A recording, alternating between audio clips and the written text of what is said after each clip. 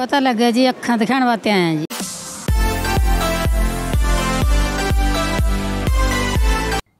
ਮੂਣਕ ਵਿਖੇ ਲੱਗਿਆ ਵਿਸ਼ਾਲ ਮੈਡੀਕਲ ਕੈਂਪ ਇਸ ਮੈਡੀਕਲ ਕੈਂਪ ਦੇ ਵਿੱਚ ਆਲੇ ਦੁਆਲੇ ਦੇ ਇਲਾਕੇ ਤੋਂ ਬਜ਼ੁਰਗ ਔਰਤਾਂ, ਬਜ਼ੁਰਗਾਂ ਨੇ ਵੱਧ ਚੜ ਕੇ ਹਿੱਸਾ ਲਿਆ। ਅਮਰ ਹਸਪਤਾਲ ਪਟਿਆਲਾ ਤੋਂ ਮਾਹਰ ਡਾਕਟਰਾਂ ਦੀ ਟੀਮ ਵੱਲੋਂ ਲੋਕਾਂ ਦੀ ਚੈੱਕਅਪ ਕੀਤੀ ਗਈ।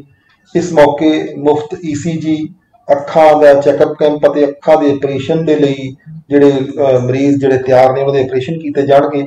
ਇਸ ਤੋਂ ਇਲਾਵਾ ਬਲੱਡ ਪ੍ਰੈਸ਼ਰ ਸ਼ੂਗਰ ਅਹ, ਜੋੜਾਂ ਦੇ ਦਰਦ ਅਤੇ ਹੋਰ ਜਿਹੜੀਆਂ ਜਨਰਲ ਬਿਮਾਰੀਆਂ ਨੇ, ਉਹਨਾਂ ਦੀ ਚੈੱਕਅਪ ਕੀਤੀ ਗਈ।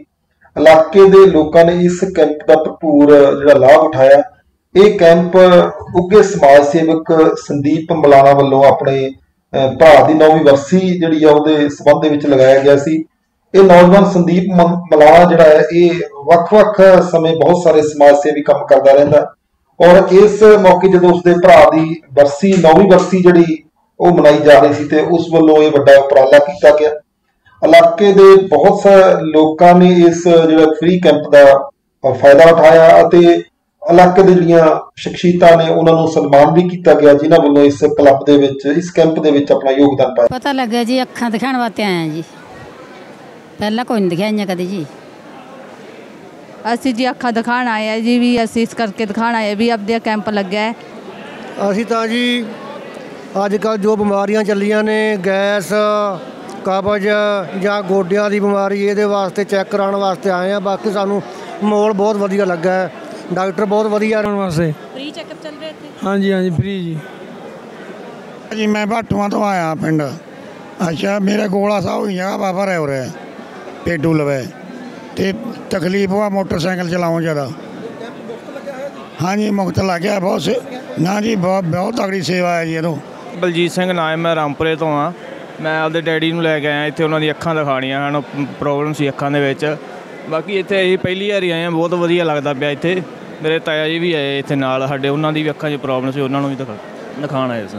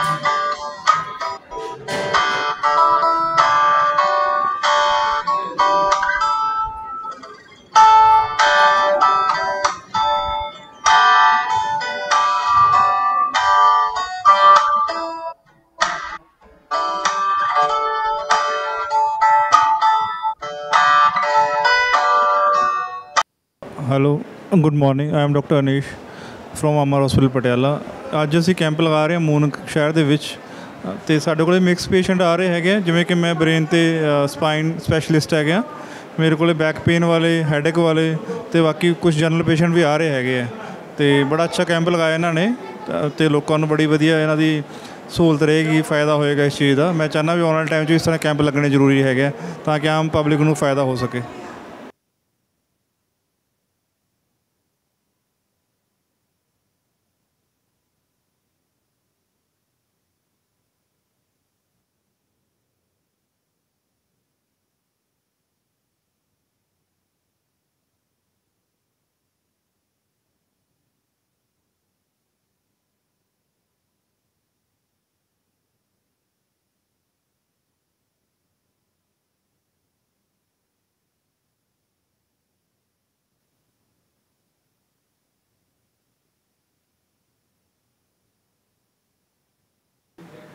ਮੈਂ ਡਾਕਟਰ ਆਦੀਸ਼ ਗੋਇਲ, ਅਮਰ ਹਸਪੀਟਲ ਪਟਿਆਲਾ ਤੋਂ।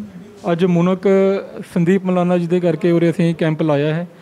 ਕੈਂਪ ਉਰੇ ਬੜੇ ਹੀ ਵਧੀਆ ਤਰੀਕੇ ਨਾਲ ਆਰਗੇਨਾਈਜ਼ ਹੋਇਆ ਹੈ। ਪੇਸ਼ੈਂਟਸ ਕਾਫੀ ਜ਼ਿਆਦਾ ਉਰੇ ਆਏ ਨੇ ਕੈਂਪ ਦੇ ਵਿੱਚ। ਕੋਵਿਡ ਗਾਈਡਲਾਈਨਸ ਦੇ ਥਰੂ ਵੀ ਅਸੀਂ ਪ੍ਰੋਪਰਲੀ ਚੱਲ ਰਹੇ ਹਾਂ। ਉਹਦੀ ਪ੍ਰੋਪਰ ਗਾਈਡਲਾਈਨਸ ਵੀ ਉਰੇ ਪ੍ਰੋਪਰਲੀ ਫੋਲੋ ਹੋ ਰਹੀਆਂ ਨੇ। ਮੇਨਲੀ ਜਿਹੜੇ ਪੇਸ਼ੈਂਟਸ ਉਰੇ ਹੈਗੇ ਨੇ, ਉਹ ਸ਼ੂਗਰ ਦੇ ਕਾਫੀ ਨੇ। ਨਿਊਰੋ ਪ੍ਰੋਬਲਮਸ ਦੇ ਨਿਊਰੋ ਪ੍ਰੋਬਲਮ ਲਈ ਆਪਣੇ ਬੈਕ ਏਕ ਹੋ ਗਈ ਸਰਵਾਈਕਲ ਪੇਨ ਹੋ ਗਈ। ਉਹਦੇ ਲਈ ਸਾਡੇ ਮਾਹਿਰ ਡਾਕਟਰ ਡਾਕਟਰ ਅਨੀਸ਼ ਕੁਮਾਰ ਗੋਇਲ ਉਹ ਵੀ ਆਏ ਹੋਏ ਨੇ ਨਾਲ ਸਾਡੇ। ਤਾਂ ਪ੍ਰੋਪਰਲੀ ਉਰੇ ਸਾਰਾ ਸਿਸਟਮ ਬੜਾ ਅੱਛਾ ਚੱਲ ਰਿਹਾ ਹੈ। ਸਾਡੇ ਵੱਲੋਂ ਉਰੇ ਮੈਡੀਸਿਨਸ ਵੀ ਪੇਸ਼ੈਂਟ ਨੂੰ ਅਵੇਲੇਬਲ ਹੋ ਰਹੀ ਹੈ। ਨਾਲ ਅਸੀਂ ਇਨਵੈਸਟੀਗੇਸ਼ਨਸ ਵੀ ਕਰਵਾ ਰਹੇ ਹਾਂ ਪੇਸ਼ੈਂਟਸ ਦੀ ਸਰ। ਤੇ ਨਾਲ ਆਈ ਚੈੱਕਅਪ ਵੀ ਤੇ ਨਾਲ ਬਲੱਡ ਡੋਨੇਸ਼ਨ ਕੈਂਪ ਵੀ ਪ੍ਰੋਪਰਲੀ ਉਰੇ ਫੋਲੋ ਹੋ ਰਹੇ। ਦੇਖੋ ਐਵੇਂ ਹੈ ਕਿ ਸਾਡੀ, ਪਹਿਲਾਂ ਤਾਂ ਅਸੀਂ ਦੇਖੋ ਇੰਨੀ ਦੂਰ ਆਏ ਹਾਂ ਅਮਰ ਹਸਪੀਟਲ ਪਟਿਆਲਾ ਤੋਂ। 2.5 ਘੰਟੇ ਦਾ ਰਸਤਾ ਸੀਗਾ ਉਰੇ।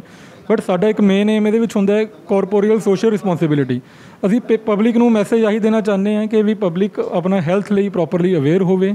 ਜਿਹੜੀਆਂ ਵੀ ਹੈਲਥ ਦੀਆਂ ਪ੍ਰੋਬਲਮਸ ਹੈ, ਉਹਦੇ ਲਈ ਪ੍ਰੋਪਰਲੀ ਆਪਣਾ ਇਲਾਜ ਲਵੇ। ਕੀ ਹੁੰਦਾ ਛੋਟੇ ਸ਼ਹਿਰਾਂ ਵਿੱਚ ਪ੍ਰੋਪਰਲੀ ਉਹਨਾਂ ਨੂੰ ਮੈਡੀਕਲ ਕੇਅਰ ਨਹੀਂ ਮਿਲਦੀ ਹੈਗੀ। ਤਾਂ ਸਾਡਾ ਏਮ ਆਹੀ ਹੁੰਦਾ ਹੈ ਕਿ ਅਸੀਂ ਇੱਕ ਫ੍ਰੀ ਮੈਡੀਕਲ ਕੇਅਰ ਉਹਨਾਂ ਨੂੰ ਉਰੇ ਆ ਕੇ ਦੇ ਸਕੀਏ। ਸਾਡਾ ਇੱਕ ਆਹੀ ਮੈਸੇਜ ਹੈ। ਬਾਕੀ ਫਰਦਰ ਪਬਲਿਕ ਜੋ ਵੀ ਉੱਥੇ ਸਾਡੇ ਕੋਲ ਆਉਣਾ ਚਾਹੇਗੀ, ਅਸੀਂ ਕੋਸ਼ਿਸ਼ ਕਰਾਂਗੇ ਜਿੰਨੀ ਕੁ ਵੀ ਉਹਨਾਂ ਦੀ ਹੈਲਪ ਕਰ ਸਕਦੇ ਹਾਂ ਹੈਲਪ ਨਾਲ ਕਰਾਂਗੇ।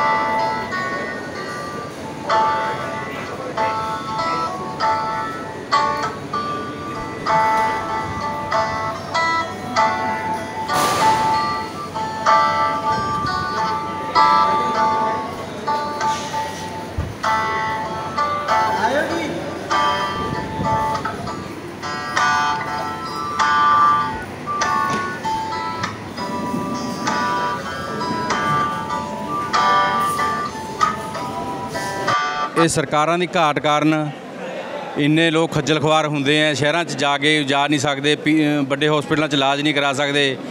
ਅੱਜ ਸਾਡੇ ਵੀਰ ਮਹਾਂਵੀਰ ਮਲਾਣਾ, ਸਾਡੇ ਭਤੀਜਾ, ਬੱਚਾ ਸਾਡਾ ਸੰਦੀਪ ਮਲਾਣਾ, ਇਹਨਾਂ ਨੇ ਆਪਣੇ ਬੱਚੇ ਸਚਿਨ ਮਲਾਣਾ ਦੀ ਯਾਦ 'ਚ ਇਹ ਹਰ ਸਾਲ ਕੈਂਪ ਲਾਉਂਦੇ ਆ ਜਿਹੜਾ ਇਹ ਪਿਛਲੇ ਸਾਲ ਕਰੋਨਾ ਕਰਕੇ ਨਹੀਂ ਲੱਗ ਸਕਿਆ। ਤੇ ਮੈਂ ਇਹਨਾਂ ਨੂੰ ਬਹੁਤ ਵੱਡਾ ਇਹਨਾਂ ਦਾ ਉਪਰਾਲਾ ਹੈਗਾ ਇਹ, ਇਹਨਾਂ ਨੂੰ ਬਹੁਤ ਬਹੁਤ ਵਧਾਈ ਦਿੰਦਾ, ਜਿਹੜਾ ਇਲਾਕੇ ਦੇ ਲੋਕਾਂ ਦਾ ਇੰਨਾ ਦੁੱਖ ਇਹਨਾਂ ਨੇ ਵੰਡਾਇਆ ਹਰੇਕ ਬਜ਼ੁਰਗਾਂ ਦਾ, ਅੱਖਾਂ ਦੇ ਕੈਂਪ ਤੇ ਸਾਰੇ ਤਰ੍ਹਾਂ ਦੇ ਡਾਕਟਰ ਜਿਹੜੇ ਆਏ ਉਹ ਮੈਡੀਸਨ ਦੇ ਹੋਰ, ਇਹ ਬਹੁਤ ਵੱਡਾ ਉਪਰਾਲਾ ਹੈ। ਇਹ ਇਸ ਤਰ੍ਹਾਂ ਉਪਰਾਲਾ ਸੰਸਥਾਵਾਂ ਨੂੰ ਕਰਦੇ ਰਹਿਣਾ ਚਾਹੀਦਾ ਹੈ ਤੇ ਇਹਨਾਂ ਨੂੰ ਮੈਂ ਬਹੁਤ ਬਹੁਤ ਇਹਨਾਂ ਦਾ ਧੰਨਵਾਦ ਕਰਦਾ